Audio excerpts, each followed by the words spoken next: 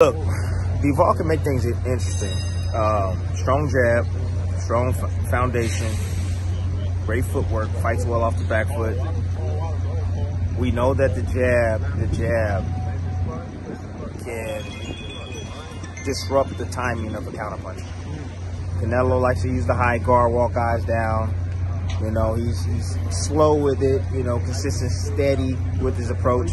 He looks to wear guys out, you know, physically one with his presence, another with, with just blocking a lot of their punches, letting them gas out a bit, letting them move, and then he looks for the kill shot later in the fight. I'm noticing a pattern with Canelo doing that.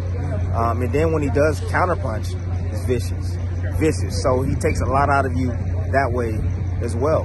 Defensively, allowing you to punch on him, you know, blocking shots, and then then he's hitting you at the same time. So um, I think it's going to be a very critical fight. Look, this is this is the thing. Canelo can be, for me, I think he can be outboxed. I really do.